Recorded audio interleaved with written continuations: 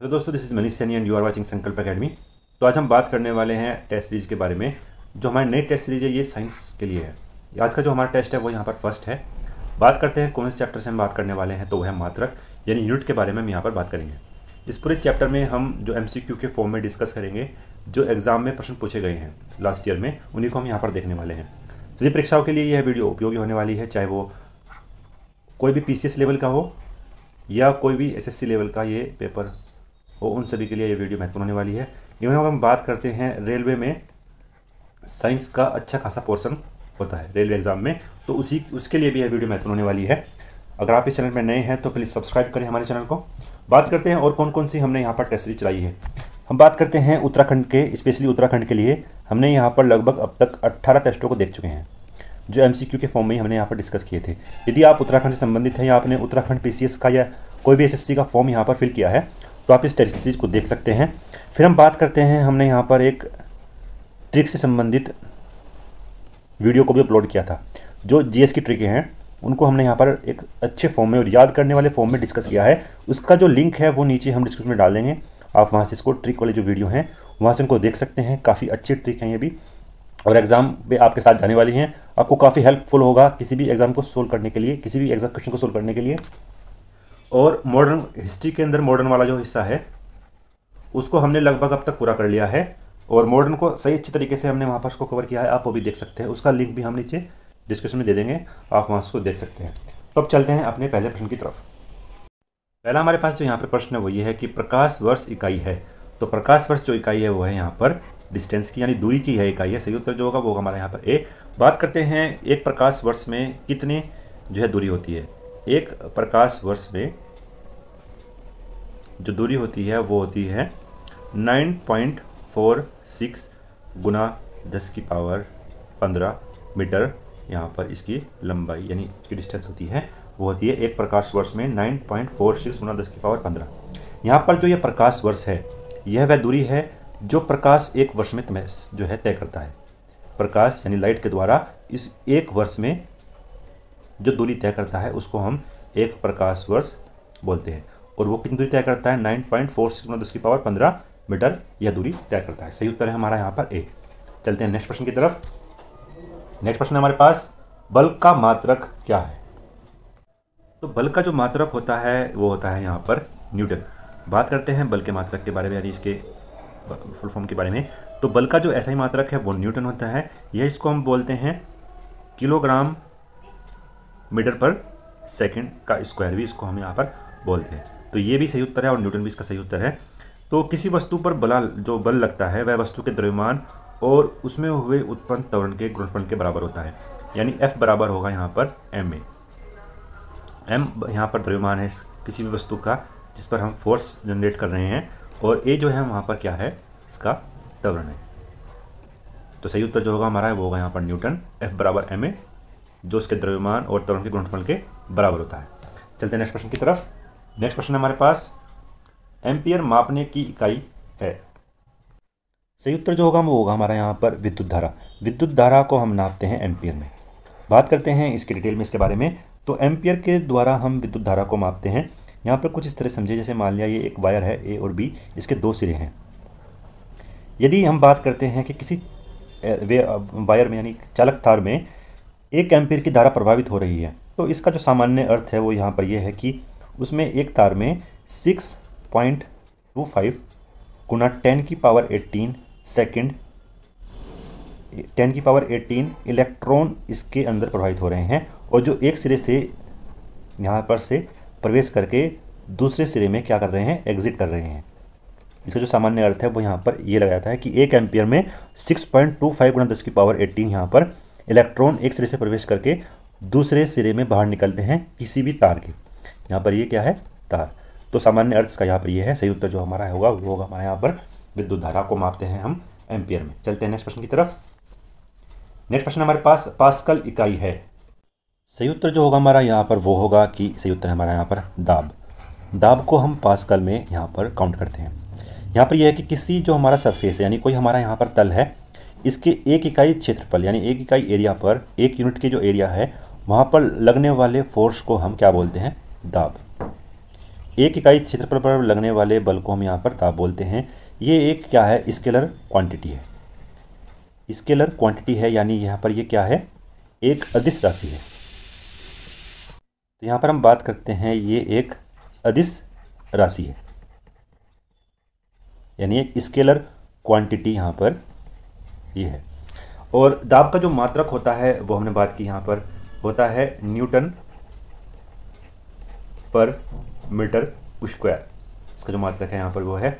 और एक पास्कल का मतलब एक न्यूटन पर मीटर स्क्वायर होता है। तो इतना जाना हमने यहाँ पर दाब की इकाई, यानी पास्कल के बारे में। और एक इकाई क्षेत्रफल, यानी एक यूनिट का जो एरिया है, वहाँ पर पड़ने वाला जो फोर्स है, उसको ही हम क्या बोलते हैं? दाब बोलते हैं। ये एक अधिस राशि है। ये भी कई बार एग्ज़ाम में पूछा जा सकता है। स्केलर क्वांटिटी और के बारे में कई बार एग्ज़ाम में पूछा गया है। तो सही उत्तर जो होगा हमारा यहाँ पर वो होगा बी और ये क्या है? एक अधिस राशि है। चलते हैं नेक्स्ट प्रश्न की तरफ़। नेक्स्ट प्रश्न हमारे पास लंबाई की न्यूनतम इकाई क्या है? सही उत्तर जो होगा हमारे पास वो होगा यहाँ पर फर्मी फर्मीमीटर फर्मीमीटर लंबाई की सबसे न्यूनतम इकाई है। हम यहाँ पर सभी देखेंगे कि कौन माइक्रोन में कितने मीटर होता है। बात करते हैं, एक माइक्रोन बराबर होता है यहाँ पर। दस की पावर माइनस के छः मीटर एक माइक्रोन होता है। फिर हम बात करते हैं नैनोमीटर के बारे में। तो नैनोमीटर होता है दस की पावर माइनस के नौ मीटर। और फिर हम बात करते हैं एक एंगस्ट्रॉम बराबर होता है। यहाँ पर दस की पावर माइनस के दस मीटर। और हमारा जो फर्मीमीटर है, जो सबसे न्यूनतम इकाई है वह है यहाँ पर दस की पावर माइनस के पंद्रह मीटर। तो सही उत्तर जो हमारा यहाँ पर वो होगा डी। लंबाई की सबसे न्यूनतम इकाई यहाँ पर फर्मीमीटर है। चलते हैं नेक्स्ट प्रश्न की तरफ़। नेक्स्ट प्रश्न हमारे पास, क्यूसेक में क्या मापा जाता है? तो सही उत्तर जो हमारा यहाँ पर होगा, वो होगा जल के बहाव को हम क्यूसेक में मापते हैं। अक्सर जब बरसात के दिनों में जब किसी क्षेत्र में बाढ़ आती है तो अक्सर आप न्यूज़ में सुनते हैं, जहाँ पर कहीं कहीं बाँध बनाए जाते हैं तो वहाँ पर एक इस तरीके का मीटर हम डाल देते हैं। इसमें क्या होता है? जल के बहाव, जब यहाँ से जल का बहाव निकलेगा तो वहाँ पर वो मीटर में काउंट होता है। कई कई बार आपने न्यूज़ में सुना होगा कि वहाँ पर इतने क्यूशक पानी चल रहा है। किसी किसी क्षेत्र में हम यहाँ पर ये सुनते हैं। तो अक्सर जो वो बाढ़ के क्षेत्र में इसको हम अक्सर न्यूज़ में सुनते हैं क्यूसेक जो जल के बहाव से संबंधित होता है। चलते हैं नेक्स्ट प्रश्न की तरफ़। नेक्स्ट प्रश्न हमारे पास, निम्नलिखित में से कौन एक वायुमंडल के ओजोन की मोटाई नापने वाली इकाई है। सही उत्तर है हमारे यहाँ पर डाबसन सही उत्तर है हमारे यहाँ पर बी डाबसन बात करते हैं ओजोन परत के बारे में। तो ओजोन परत जो है वायुमंडल के समताप मंडल यानी स्टेथोस्फेयर में यह हमें देखने को मिलती है। तो वायुमंडल की जो समताप मंडल वाली जो लेयर है, वहाँ पर ओजोन परत हमें मिलती है स्टेथोस्फेयर में। बात करते हैं कि एक डाप्सन की जो इकाई है, यानी एक डाप्सन जो है, वहाँ पर सामान्य टेम्परेचर और प्रेशर पे 10 माइक्रोमीटर जो है ओजोन की परत होती है। माइक्रोमीटर इतनी होती है। और एक डाप्सन में इकाई जो है यहाँ पर 2.69 पॉइंट गुना दस की पावर 20 ओजोन अणु अणु प्रति वर्ग किलोमीटर, प्रति वर्ग मीटर में इतने अणु के बराबर होते हैं। तो इतना ही महत्वपूर्ण था इस प्रश्न के लिए। अब चलते हैं नेक्स्ट प्रश्न की तरफ़। नेक्स्ट प्रश्न हमारे पास, उष्मा की इकाई निम्नलिखित में से कौन सी नहीं है? तो उष्मा की जो यहाँ पर इकाई नहीं है, वो है यहाँ पर सेंटीग्रेड क्योंकि सेंटीग्रेड जो है, वो किसकी इकाई है? यहाँ पर तापमान की। और बाकी तीनों जो यहाँ पर हमारे पास इकाई हैं, ये किसकी है? यहाँ पर उष्मा की। क्योंकि हमसे जो प्रश्न पूछा गया था, वो यहाँ पर कौन सी नहीं है पूछा गया था। तो नहीं है तो हमारा सही उत्तर है यहाँ पर सेंटीग्रेड क्योंकि यह किसकी है? तापमान की यह इकाई है। बात करते हैं उष्मा क्या है। तो उष्मा एक तरह का ऊर्जा का ही एक रूप है उष्मा। जब ऊर्जा किसी एक वस्तु से दूसरे वस्तु में ट्रांसफ़र होती है, एक टेम्परेचर के कारण, क्योंकि एक पिंड, जो मान लिया कोई वस्तु है, और भी दूसरी वस्तु है, इन दोनों का जो यहाँ पर टेम्परेचर है, उन टेम्परेचर में विभिन्नता के कारण यहाँ पर इनमें जो एनर्जी ट्रांसफ़र होगी इधर की तरफ़ या वो होगी इधर की तरफ़ तो जो एनर्जी ट्रांसफ़र होगी, इसी जो एनर्जी ट्रांसफ़र को ही हम क्या बोलते हैं? उष्मा इसी एनर्जी ट्रांसफ़र को हम क्या बोलते हैं? उष्मा या हम उसको बोलते हैं हीट तो सही उत्तर जो होगा हमारा यहाँ पर, वो होगा सेंटीग्रेड और इस जो ट्रांसफ़र वही ऊर्जा को ही हम यहाँ पर क्या बोलते हैं? उष्मा तो अब चलते हैं नेक्स्ट प्रश्न की तरफ़। नेक्स्ट प्रश्न हमारे पास, पारिस्थितिकी दबाव की इकाई क्या है? तो पारिस्थितिकी जो दबाव है, उसकी इकाई यहाँ पर क्या होगी? वो होगी यहाँ पर बार। बार जो इसका मात्रक है, वो गैर ऐसाई मात्रक है। गैर ऐसाई मात्रक इसका यहाँ पर क्या है? तो वो बार है। और अगर हम ऐसाई मात्रक की बात करते हैं तो हमने पिछले प्रश्न में यहाँ पर बात की थी, वो यहाँ पर क्या है? पास्कल है। पास्कल भी दबाव को, दाब को नापता है और जो है बार भी। लेकिन ये गैर ऐसाई मात्रक है और ये क्या है यहाँ पर? ऐसाई मात्रक और एक बार में यहाँ पर दस के पावर पाँच पास्कल होते हैं। तो सही उत्तर है हमारा यहाँ पर बार। चलते हैं नेक्स्ट प्रश्न की तरफ़। नेक्स्ट प्रश्न हमारे पास, चालक की विद्युत प्रतिरोधकता की इकाई क्या है? सही उत्तर जो यहाँ पर होगा, वो होगा यहाँ पर ओम मीटर विद्युत प्रतिरोधकता की यहाँ पर इकाई है। बात करते हैं यहाँ पर इलेक्ट्रिक रेजिस्टेंस के बारे में। तो इसको हम बोलते हैं किसी पदार्थ की इलेक्ट्रिक रेजिस्टेंट उस पदार्थ द्वारा विद्युत धारा के जो प्रवाह को विरोध करने की क्षमता को पता करती है। कम जो रेजिस्टेंस वाले पदार्थ हैं, वो आसानी से इलेक्ट्रिसिटी को चलने के लिए अपनी जगह देते हैं। इसका जो ये ओम मात्रक है ओम मीटर ये इसका ऐसा ही मात्रक है।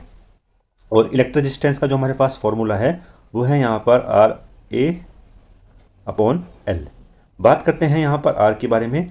तो ये जो है एक हमारा कोफिशेंट है आर ए यहाँ पर है धारा की दिशा में लंबाई.